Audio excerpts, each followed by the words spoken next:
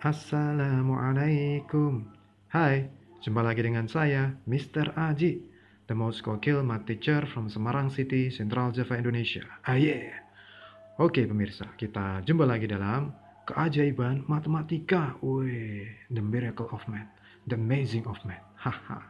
Oke, tapi sebelumnya jangan lupa pemirsa, don't forget to subscribe, like, share, and comment my channel tentunya. Haha. Thank you very much. Oke pemirsa, keajaiban matematika kali ini adalah kita bahas tentang keajaiban matematika spesial bulan Ramadan ya. Uh, yang akan kita bahas adalah kita buka bersama. Tara. Keajaiban sedekah. Woi. Apa keajaibannya pemirsa? Oke langsung saja.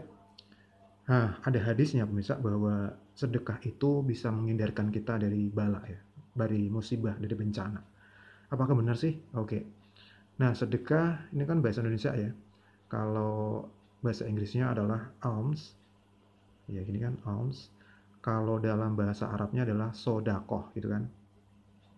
Tulisannya sodakoh gini kan. Alright. Nah, sekarang uh, kita terapkan dengan hurufnya.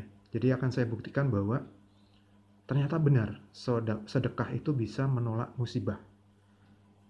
Bagaimana cara membuktikannya? Oke, langsung saja uh, huruf alfabet ada berapa pemirsa? Ada 26 ya. Jadi A, B, C, D, E. Oke, kita tulis dulu. A adalah berapa pemirsa? 1, 2, 3, 4, and 5. Habis E, berikutnya adalah F, G, H, I, J. Ya kan? Ini berarti urutannya setelah 5 adalah 6, 7, 8, 9, dan 10. And then uh, J, K, L, M, N, O. K, L, M, N, O ya. Jadi K-nya berapa pemirsa? Dan benar sekali 11, 12, 13, 14, 15. Selanjutnya setelah O adalah PHRST. PHRST, right. Oke. Ini adalah 16, 17, 18, 19 dan 20 dan 6 digit lagi.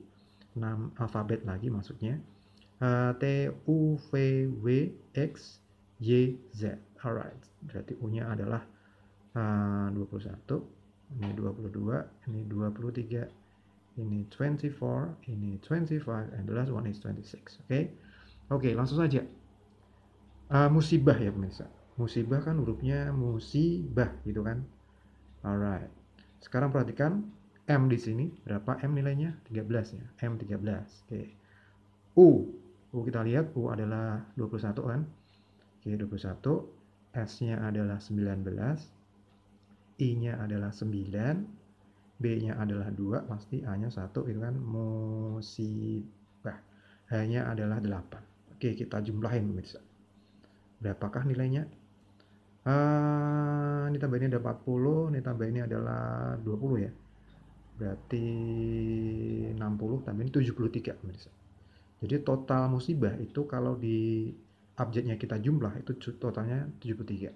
Nah sekarang kita bandingin dengan sodakoh tapi di dalam bahasa Arab ya. Sodakoh dari kata aslinya ya. Sodakoh. Ini akan terjadi keajaiban bisa kita hitung.